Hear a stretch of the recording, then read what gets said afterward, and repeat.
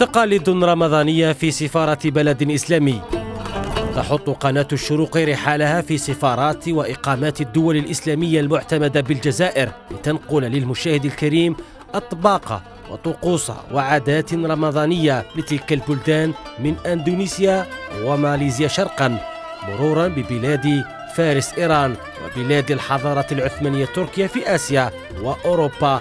ونعود للقارة الإفريقية مع السودان إلى بلدان المغرب العربي غربا وجنوبا إلى نيجيريا وغيرها من الدول العربية والإسلامية وحتى الغربية التي تتواجد بها جالية إسلامية. تشاهدونه في الأوقات التالية.